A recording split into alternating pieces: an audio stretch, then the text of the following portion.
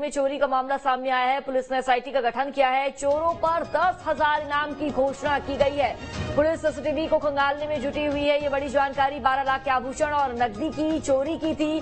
मंदिर से चोरी कर आरोपी फरार हुए थे। चोरी की घटना सीसीटीवी कैमरे में कैद हो गई है। तो ये बड़ी जानकारी पूना से सामने आ रही है। चोरों पर दस हज़ार का इनाम भी घोषित किया हुआ है। बारह लाख के आभूषण और नकदी कुछ और अपने साथ लेकर फरार हो गए। चोरी की वारदात वहाँ पर लगे सीसीटीवी कैमरे में कैद हो गई। हनुमान टेकरी मंदिर में चोरी का मामला सामने आया। बंधक बनाकर कैमरे में, में कुछ फुटेज आए हैं वहाँ से बजरंग बली जी की मूर्ति है। वहाँ से मुकुट गदा कड़े चांदी के और अन्य जो चांदी का सामान था वो वहाँ से निकाल के चोरी करके ले गए हैं। और गार्ड के साथ मारपीट की।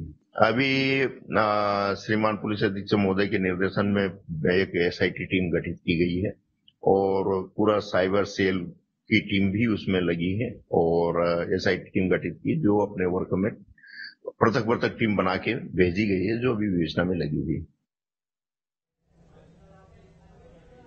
और ज़्यादा जानकारी हम तक साझा करेंगे। राजेंद्र राजपूत हमारे साथ फ़ोन लाइन पर जुड़ चुके हैं। राजेंद्र, मंदिर में चोरी की गई है और 12 लाख के आभूषण लेकर चोर फरार हो गए। कब की घटना है और आखिरकार जब मंदिर में चोरी चोरी कर रहे थे, आसपास के पुजारी मौजूद नहीं थे, मंदिर के आसपास लोग मौजूद नहीं थे। फ़िलहाल क्या कुछ अपडेट सामने आ रहा है?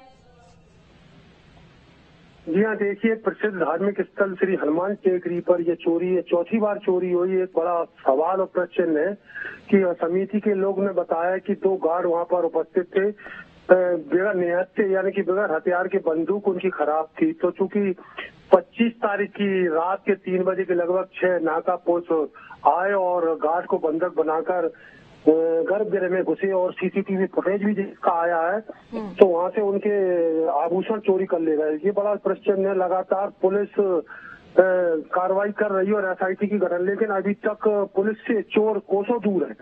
तो बताया जा सकता है कि धार्मिक स्थल को भी चोरों ने नहीं छोड़ा है। यह प्रसिद्ध धार्मिक स्थल है। यहाँ गुना नहीं अपितु राजस्थान और लगभग आसपास के जिलों के श्रद्धालु बड़े उनके दर्शन करते और अपनी मनोकामना पूर्ण करते यहाँ तक कि मैं आपको यहाँ से बताऊँगा कि आप पूर्व राष्ट्रपति, पूर्व मुख्यमंत्री शिवराज सिंह चौहान और अभी वर्तमान मुख्यमंत्री मोहन यादव केंद्रीय मंत्री ज्योतिराज सिंधिया, कई ऐसे दिग्गज राजनेता आ चुके हैं। धार्मिक का बड़ा स्थल है। तो एक चोरी होना एक बड़ा प्रश्न है और पुलिस के लिए भी बिल्कुल राजेंद्र यहाँ पर एसआईटी का गठन कर दिया गया है पुलिस विभाग द्वारा और जल्द ही इन आरोपियों को गिरफ़्तार कर लिया जाएगा। ये बहुत बहुत शुक्रिया तमाम जानकारी साझा करने के लिए। और चलिए रुक करेंगे अगली खबर की और बात करेंगे मुंगेली की। मुंगेली से बड़ी जानकारी जहाँ शराबी पति ने नवविवाहिता की हत्या कर दी। है बड़ी खबर आप